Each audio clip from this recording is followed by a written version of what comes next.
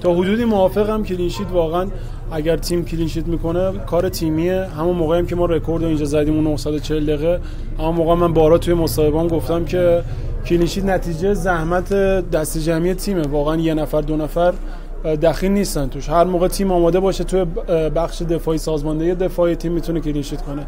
فقط یه نفر دروازه‌بان توش دخیل نیست. دروازه‌بان نقشش مهمه اما اون سازمانده تیمی است که کمک می‌کنه. آقا راجع بازی قبلی من یه سوالی داشتم. شما کلا خیلی سوال بفهم نمی‌تونستید یه اعتراضی بکنید کل بازیکن‌های من خودت نمیگم. بله. چون خودت توی اون موقعیت قرار داشتی که بتونی حالا مثلا یه اعتراضی یه توقف بازی. راستشو راستیتشو بخوام بگم فکر کنم تو اون لحظه اعتراض نکردم. برای اینکه چشم دیگه اصلا عادت کرده بودم. یعنی اگر لیزر نمینداختن می‌گفتم آقا نگه دار بس اون لیزر اندازه چی شدن؟ از تو گرم کردن که ما رفتیم.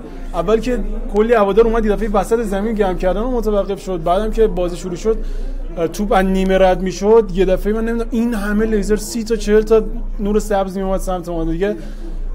میگم دو تا نمره با سیگما شد آخه می‌دونی چرا اینا میگم؟ چون مثلا همین هفته یه تیم 15 دقیقه نرفت تو زمین به خاطر اینکه مثلا زمین آب نداده بود. درست بله این چیزا واقعا چیزای ابتدایی همین لیزر و اینا نباید نباید باشه باید جلوش گرفته بشه. فکر می‌کنم که تو باشگاه های بزرگ یا کشورهای اروپایی اینا نگاه بکنید راحت شناسایی میشه افراد و باهاشون برخورد میشه. نباید بعد واقعا هر چیز زودتر جلوی این قضیه گرفته بشه